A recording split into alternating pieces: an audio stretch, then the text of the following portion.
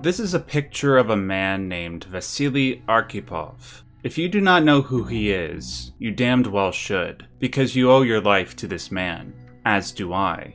Let me explain. Back in late 1962, during the Cuban Missile Crisis, Vasily was stationed on one of four Soviet B 59 submarines just off the coast of Cuba. This submarine was floating so deep in the water that they could not monitor any radio traffic from above. They were completely ignorant of what was transpiring on the surface. On October 27th, Vasily and his Soviet comrades were being bombarded by depth charges from the United States Navy. This was not to try and destroy the submarines, but to try and get them to surface so that the US could identify them. To the captain of Vasily's submarine, Valentin Savitsky, the depth charges were indistinguishable from a global thermonuclear exchange. In this tense situation, Valentin concluded that World War III had started. Therefore, he wanted to fulfill his expected duty and launch the nuclear weapon stationed on his submarine. But before he could do this, he had to abide by a chain of command. He had to get the approval of two other men to launch. One was political officer Ivan Maslennikov, and the other was the chief of staff, Vasily Arkhipov. Ivan said yes to the launch. Vasily said no. If Vasily did not say no, then that would have been the end of life as we knew it.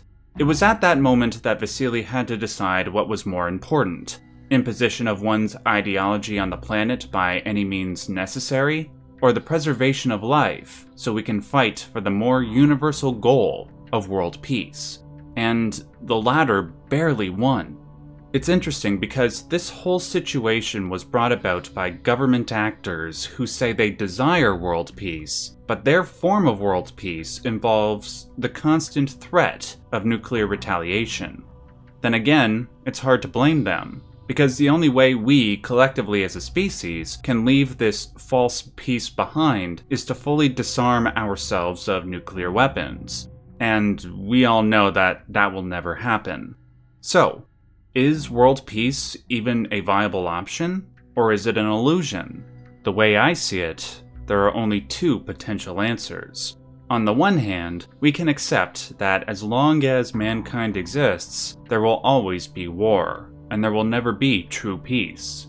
On the other hand, we can hope for a future much like the one that the famous inventor, Thomas Edison, envisioned. One where there exists a machine or force so fearful in its potentialities, so absolutely terrifying, that even man, the fighter, who will dare torture and death in order to inflict torture and death, will be so appalled and so abandon war forever.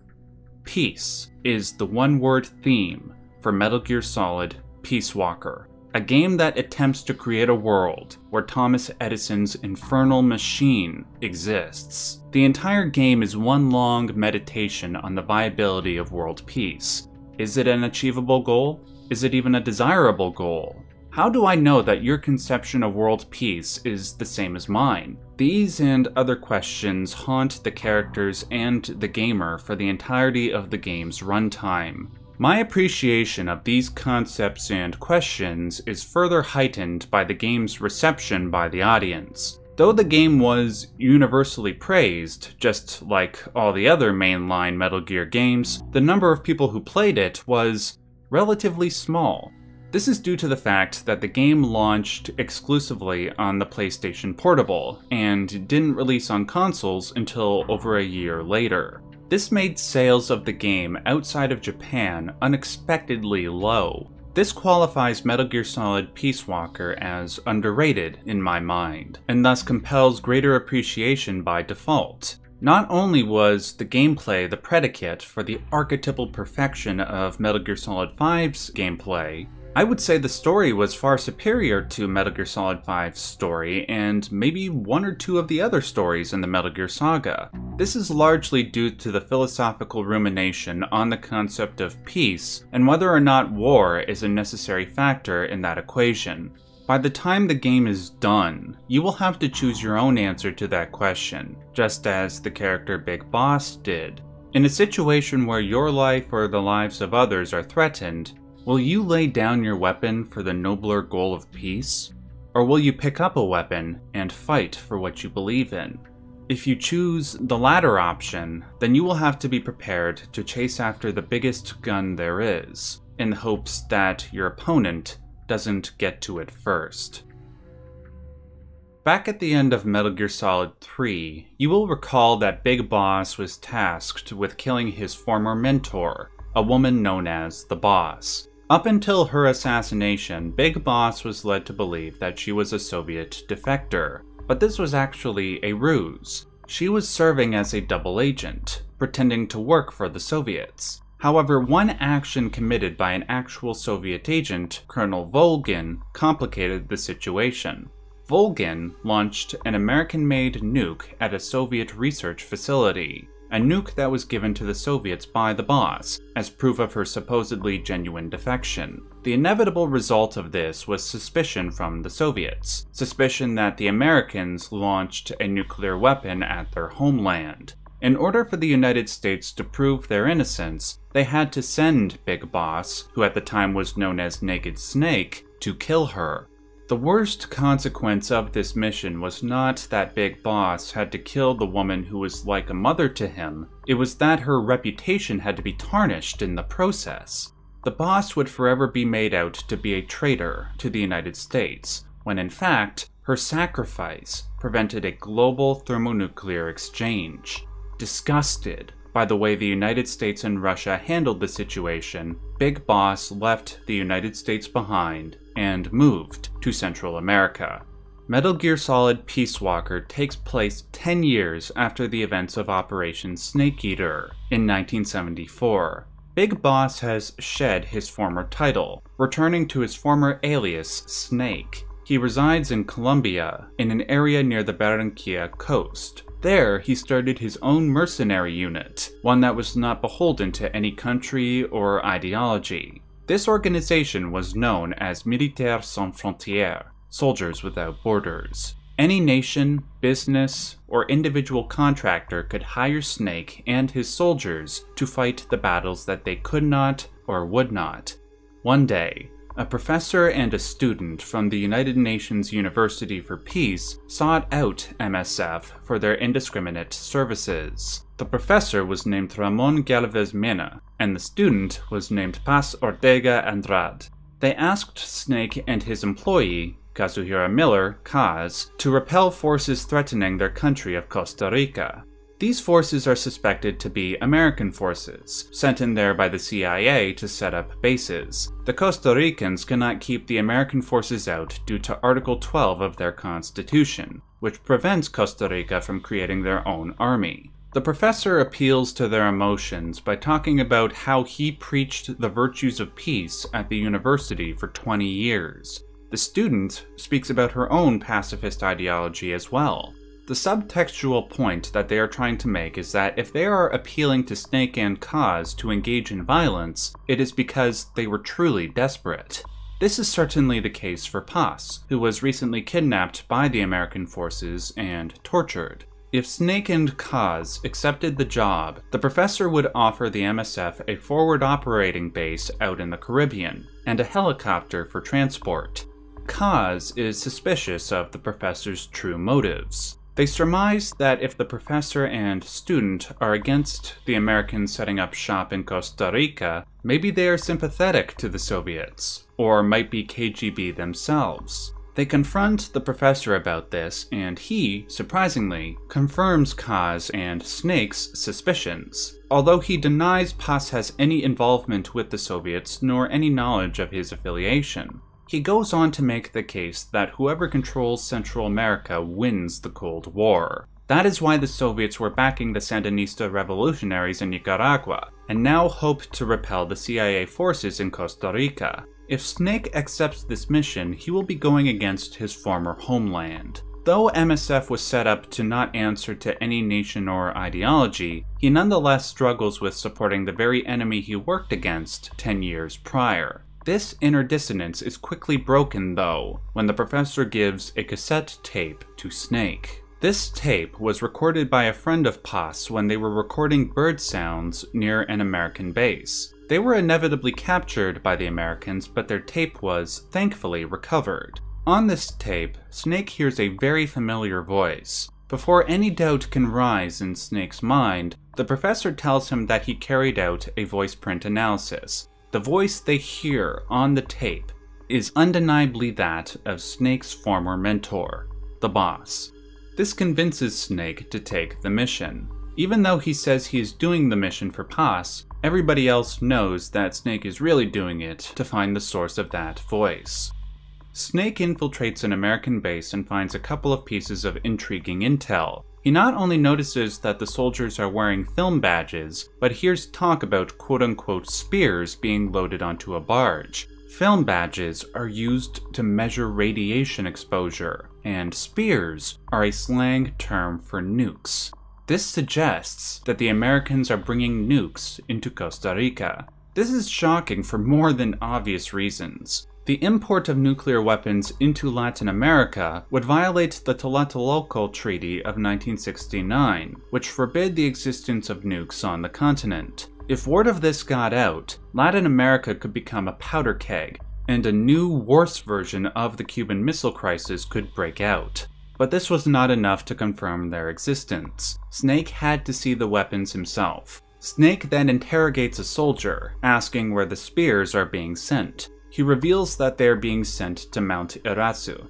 Before Snake can head there, Kaz recommends that he meet up with a nearby Sandinista comandante so that they may provide Snake with support during his infiltration. He locates a boathouse in a swamp near Rio del Jade, owned by the National Sandinista Liberation Front. There, he finds that the Comandante and her team have been tied up by CIA forces. He frees the team and learns the Commandante's name, Amanda Valenciano Libre, she tells Snake that the CIA plans to stage a coup in Costa Rica, like they did in Chile. She does not have any concrete evidence to offer for this statement, though she does speak of seeing large amounts of sophisticated weaponry, an amount that would be more than necessary to take on her and the other Sandinistas. Her statement is quickly confirmed because she, Snake, and her team are suddenly ambushed by squads of soldiers, along with an unmanned, sophisticated looking aircraft.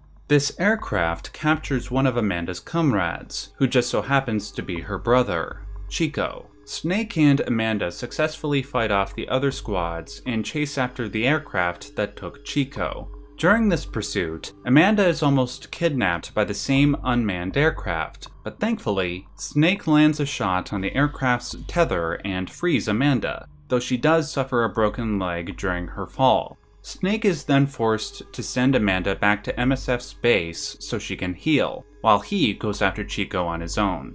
Snake tracks Chico to a prison facility in an area called Camino de Lava, after discovering his cell, Chico tells Snake about the CIA's secret shipping route. Apparently, the nukes were being shipped upriver to an underground tunnel which opened up on the other side of Mount Irazu. Right when Snake is about to send Chico on a Fulton balloon back to base, Chico asks for Snake to kill him. He makes this request because he apparently betrayed the location of his team during interrogation. He does not feel he could face his comrades after doing this, and that the more honorable thing would be to die. At least then he could be free from the guilt and be at peace. But Snake refuses. Snake knows better than anybody how hard it is to retain information during torture, that there is no shame in letting that pain get the better of you. What Snake thinks would be shameful is letting this young man, filled with courage, strength, and honor, take the easy path to inner peace. Snake feels that Chico's qualities can be put to much greater use, that he can still achieve his and his sister's goal of Nicaraguan liberation. He convinces Chico that he still possesses great worth, that he can truly earn his desired peace by continuing to fight for what he believes in. Thankfully, Chico agrees. Snake then Fultons Chico back to base where he can begin his new path, fighting alongside the MSF.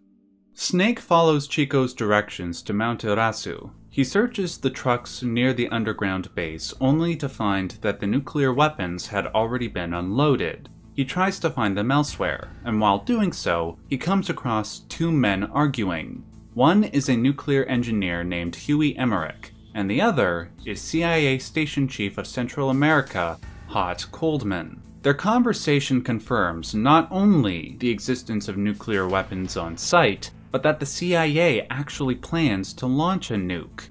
Coldman argues in favor of the three principles of nuclear deterrence theory. 1. You must have nukes. 2. You must never fire a nuke first. And 3. When your opponent fires a nuke at you, you must strike back.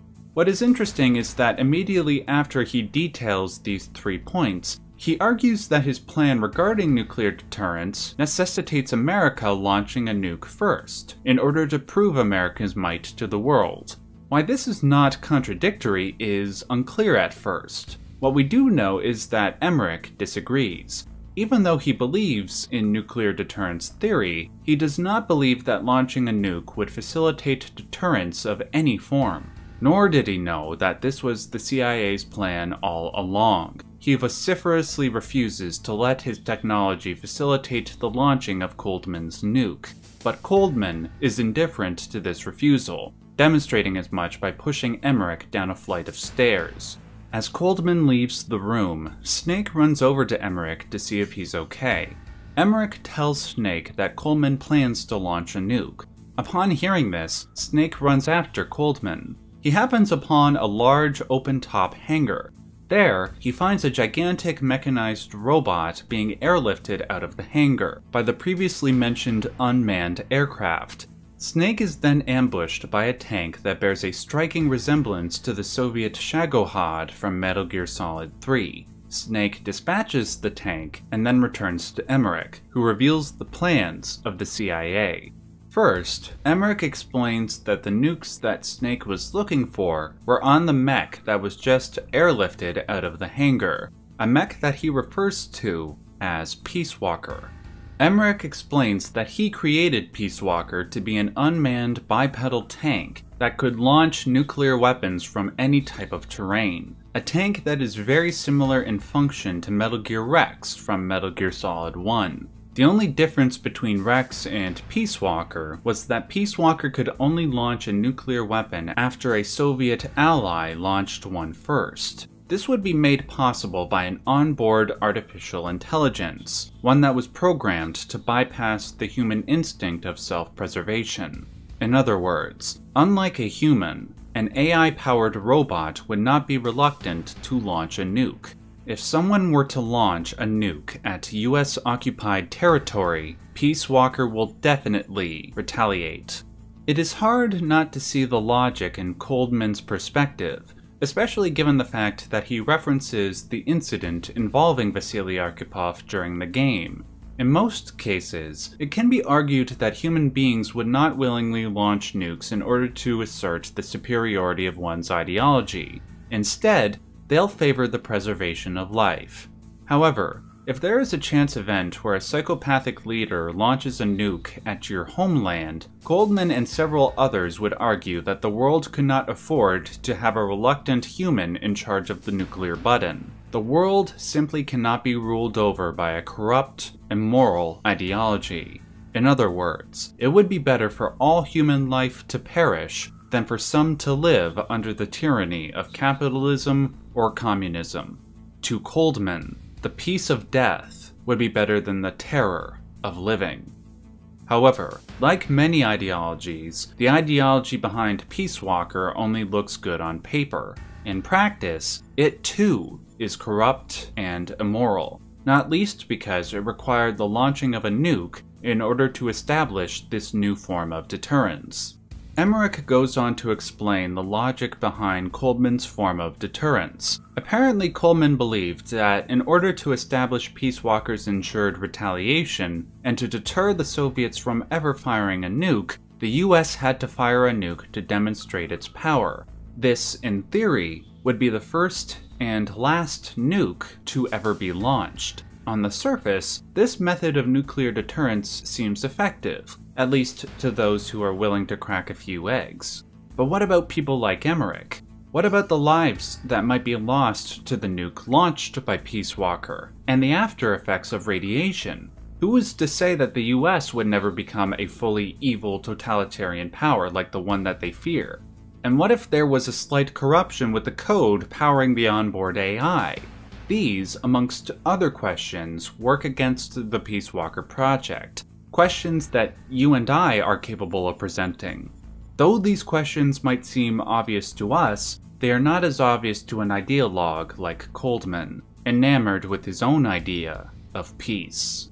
Emmerich explains that the AI that powers Peace Walker is not complete yet, but is expected to be complete in five days. Almost immediately after it is completed, Peace Walker is expected to launch a nuke. Emmerich suggests that Snake find the woman responsible for the creation of the Peace Walker AI, a woman named Dr. Strangelove. Her lab is located in a Mayan ruin a few miles north of their location. He suggests that Snake head there and destroy the AI. Emmerich is then Fultoned back to base, and Snake proceeds north. Upon arriving at the ruins, he discovers Dr. Strangelove waiting for him.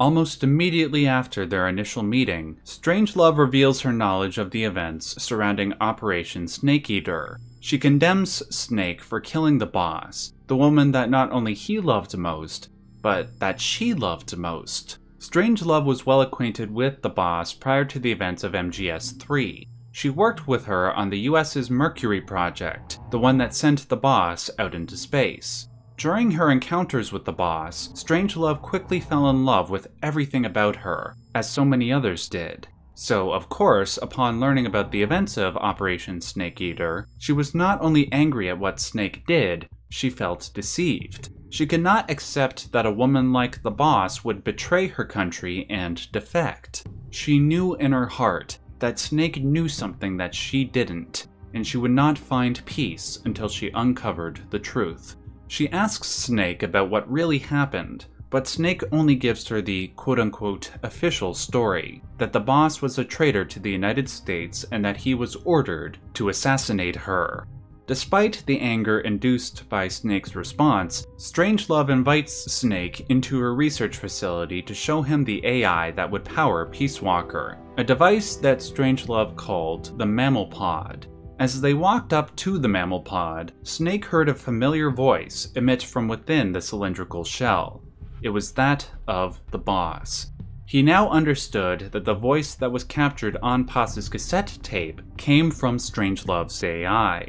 But what was the true nature of this voice? Strangelove explained that the AI that resides within the mammal pod was the closest recreation of the boss's personality that she could make. Strangelove felt that if Peace Walker was going to have a fully rational AI that would not fall to the predations of human instinct, the best mind that could power it would be that of the boss. Strangelove was granted every conceivable document regarding the boss's life from the CIA. Also, she could ensure the completion of this project. However, there was a missing piece. Strangelove was unsure of the boss's true state of mind during Operation Snake Eater. In order for the AI to be a full recreation, she would need the truth, and only Snake would be able to tell her. Strangelove understands the emotional difficulty of Snake's task, of destroying this recreation of his former mentor. What would it be like for Snake to kill the boss a second time, even if it was only an approximate version of his former mentor? She knew that he wouldn't have the guts. In fact, she was so confident in her belief that she dared Snake to destroy the mammal pod, Though Snake tries to do so, he passes out during the disassembly process. Strangelove then leaves with the mammal pod and leaves the unconscious Snake behind. Kaz informs Snake that Peace Walker was now located at a facility 15 miles north of Strangelove's lab, at a lab disguised as a rock quarry. He travels there by horse and is unfortunately discovered soon after his arrival. He battles off multiple forces, including another AI powered tank. Snake's eventual defeat of the tank results in a massive explosion, which sends shrapnel into a nearby door. The door's destruction allows Snake access to the underground facility. He discovers the location of the mammal pod again and quietly slips into it while the guards were taking a break. Before he destroys it, Snake begins to question the boss's true intentions. He begins to question whether or not her debriefing, as told to him by Eva from Metal Gear Solid 3, was true as well. To test the AI's capability of recreating the boss's personality, he asks it questions regarding Operation Snake Eater. Questions like whether or not the boss defected to the Soviet Union of her own free will. When the AI says that it has no record of this or anything else that Snake asks her about, Snake is able to gather the courage to destroy the AI. But before he could, he is discovered by the guards, Strangelove, and Coldman. Snake attempts to fight back against the guards, and in the ensuing chaos, he manages to grab Strangelove's ID card and hide it on his person before he is finally subdued. Just before Coldman kills him, Strangelove requests that she interrogate Snake first. Coldman agrees, and soon after, Snake suffers torture by electrical shocks, similar to the torture he suffered at the hands of Volgin in Metal Gear Solid 3. Strangelove once again asks about the truth behind the boss's demise, but once again, Snake refuses to tell her the truth. This befuddles Strangelove. She knows that Snake is lying. After all, why would he wear the boss's bandana if she was truly a dishonorable war criminal? Unlike the other torture scenes in the other Metal Gear Solid games, this one arguably has the greatest stakes and the most emotional impact. Of course, we understand that if Snake revealed what truly happened to the boss, the AI would be completed, and the nuke would be launched. But there's the added temptation of letting the AI be completed, because then the boss would basically return to life, albeit in the form of a metal tube. Snake's refusal to tell the truth to Strangelove demonstrates the profound strength and discipline inherent to his body and mind, that he would rather give the world a chance at peace, even if it means eternally sacrificing his chance for inner peace. Following the torture, Snake is then taken to a cell, which he easily escapes thanks to Strangelove's ID card. Upon escape, Kaz tells Snake that Paz is missing, Snake suspects that Coldman kidnapped her. This would make sense because not only would this deter MSF from interfering with Peace Walker, it would provide Coldman with potential information about Snake's contractors. Coldman suspects that Paz, like her professor, is KGB.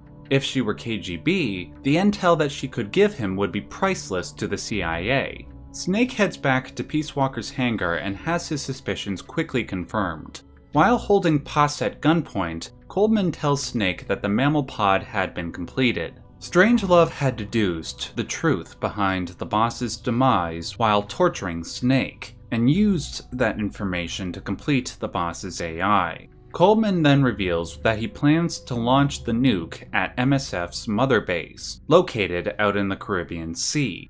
This would be done by providing Peace Walker with false data regarding a Soviet attack, the data would then be reverse engineered so that Peace Walker did not nuke a Soviet base, but MSF's mother base. The radioactive fallout would be carried over to Central America via trade winds, causing fish and crops to die. This would allow the US to employ those farmers so they can build multiple Peace Walker variations and scatter them all over Central America. But before Coldman could fire the nuke, he needed to demonstrate to the White House Peace Walker's all-terrain capabilities. Peace Walker prepares to march north, but right before it can do this, Snake fires upon the giant mech, and a fight ensues. Snake was able to do a decent amount of damage to Peace Walker, causing it to collapse and the AI to start behaving erratically.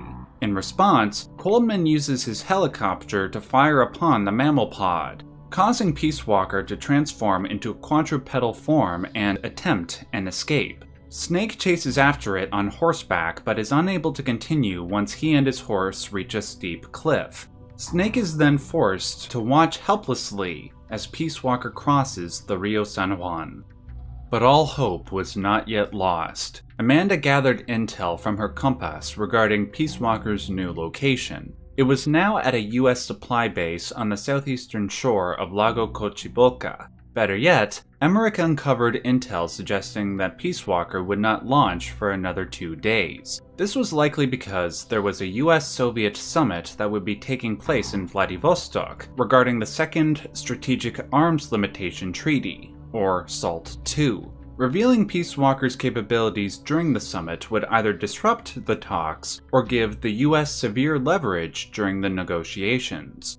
Following the recovery of this intel, Snake infiltrated the supply base and traveled to a nearby communications tower, the place where Peace Walker would likely be controlled. Upon arriving there, he finds a video feed of Paz in a cell. He attempts to communicate with Paz, trying to find out her location. But before he could do that, a series of alarms begin to ring through the facility. Snake's presence had been uncovered.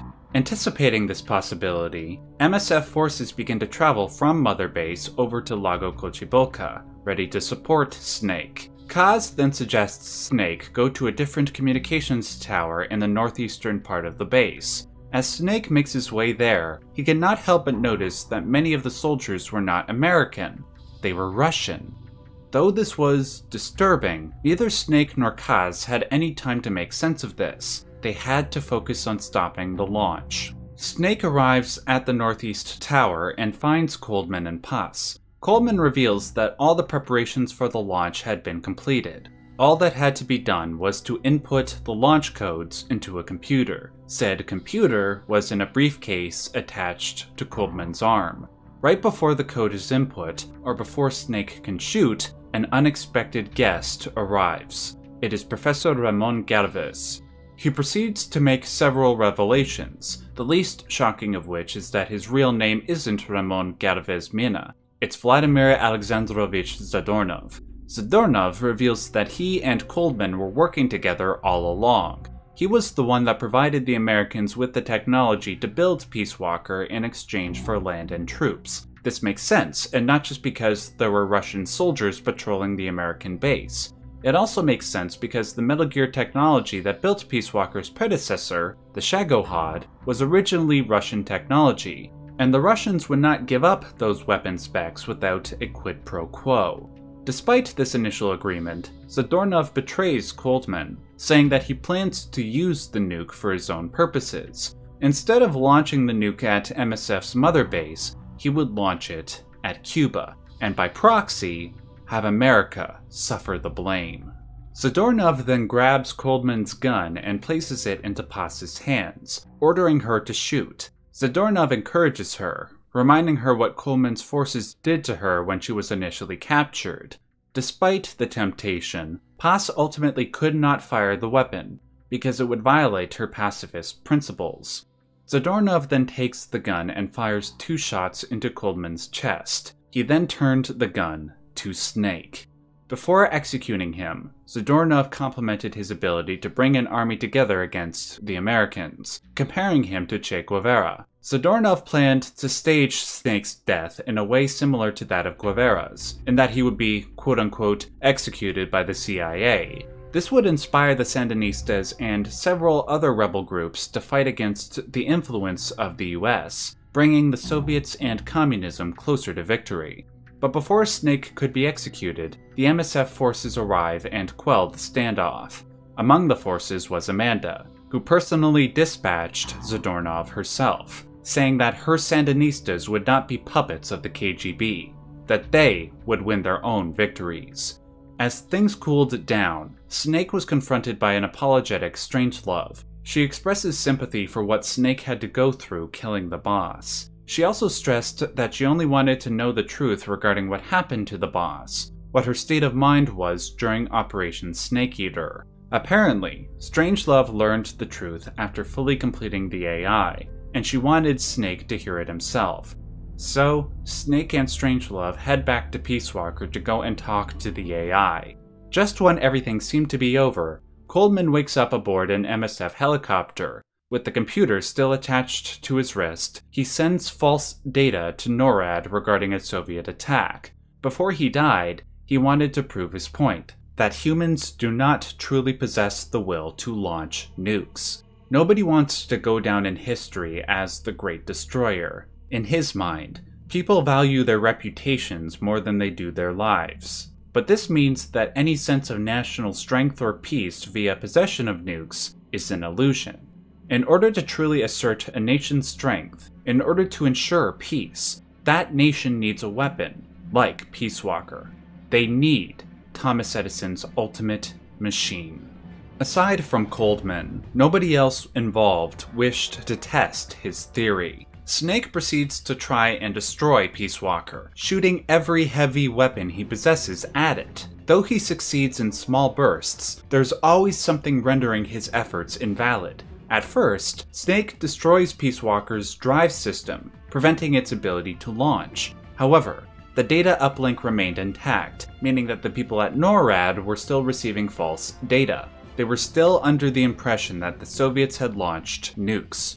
This meant Snake would have to destroy the AI in order to stop the data transmission. This proved to be impossible, because the metal surrounding the AI was built to withstand an actual nuclear blast. As Snake tried in vain to destroy Peace Walker, the higher ups over in Washington, D.C. were debating whether to retaliate against the Soviets' supposed attack. Through the combined efforts of Emmerich and Snake, they managed to get the chairman of the Joint Chiefs of Staff, a representative of America's Secretary of Defense, on the phone. Snake convinces the chairman that the missiles are fake, but this was not enough for the other members of the council. When the chairman attempted to call off the retaliatory strike, another member pointed a gun at the chairman's head, effectively overriding his authority.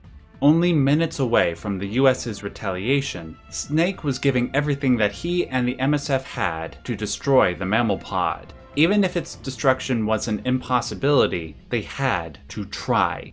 Just when all hope truly seemed lost, Peace Walker suddenly stood upright, and a song began to ring out from the mammal pod. It was a song by the Carpenters called Sing, synthesized to match the boss's voice. As the song rang out, Peace Walker walked out into the water and drowned itself. As for why this happened, Snake, Strangelove, and Emmerich deduced that the AI was no longer using its brain to function, but rather its heart. Though this miraculous event prevented a nuclear holocaust, it was not devoid of tragedy. The AI's choice to lay down its weapons and sing reflected the boss's state of mind prior to her death. She, too, chose to stop fighting, preferring the higher ideal of peace through pacifism and disarmament. This was her true state of mind at the end of her life. One would hope that the boss's will in this regard would be powerful enough to inspire Snake to do the same, but unfortunately, Snake could not agree with the boss's change in perspective. He considered the boss's choice to lay down her weapons, to sacrifice her life for her country rather than live on for herself. He considered that a betrayal.